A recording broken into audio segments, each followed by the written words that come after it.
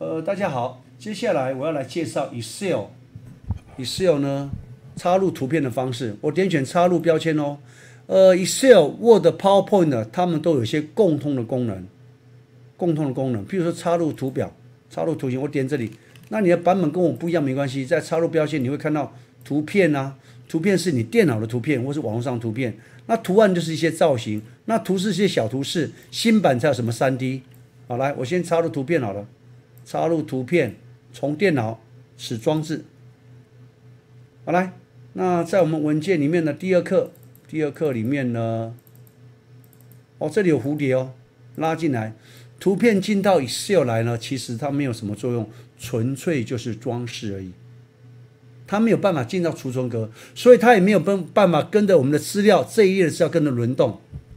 那它有三个功能：第一个拖移调整位置，第二个。八个点点调大小，第三个做旋转，其他功能都不太重要了。在 Excel，Excel 不是在学那个，老师可以把背景去掉，可以，但是我在讲面不太重要。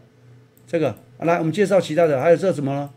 什么图案？图案就是什么？一些它内建的造型，这些事情在 Word、PowerPoint 比较重要。来，再来听听就好了哈。啊，这边有图示哦，图示是二零二一新功能，我觉得不错，二零一九就有了，好像二零一九就有的。Excel 二零或哦，这些有些我们在做文件的时候需要一些什么？影像图示这些这图片的，那这边图示的地方还分呃拼图跟游戏的、表情的、医学的、虫子、艺术，那这边还可以点后面还有后面还有跟教育相关的，哦哦，点这个好了，那插入进来以后呢，哦，可就进到格式图形格式这边，我可以给颜色了。哦，这知道一下就好，因为这些图都不能进到储存。来，那顺便再看一下新版这边还有三 D 功能，三 D 模型哦，三 D 模型，它内建的。啊，再等它一下下，有些搞不好从网络上过来，需要等那么久，应该是网络上。来看一下吗？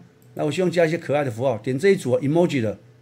来来，你可以挑挑选你喜欢的。啊，我这个啦，舌头吐出来一半，这个啊，吐出舌头没有一半，够大了。那看到这边可以旋转，这是三 D 的。那也可以移动，你看见吗？不过这些事情在 Excel 不太重要，听完就好了。那这边有些现成造型可以选哦，所以在插入标签的图例的地方，这边有一些这边可以选这些，听完就可以了啊。因为图片再讲一遍，它因为不能进到储存格，所以呢，我们知道在做排序、在做筛选的时候，跟它一点关系都没有，它也没有办法计算，没有办法统计，纯粹就是做修饰。